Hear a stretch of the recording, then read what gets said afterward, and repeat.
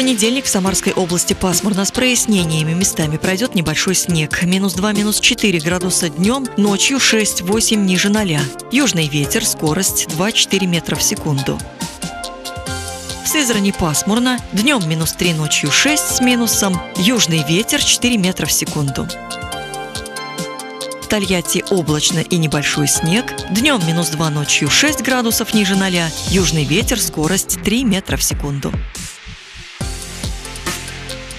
В Самаре переменная облачность, днем минус 2, ночью 8 градусов ниже 0, южный ветер 2 метра в секунду. Атмосферное давление 757 миллиметров ртутного столба, влажность воздуха 65%. Прогноз погоды предоставлен погодным порталом gismeteo.ru.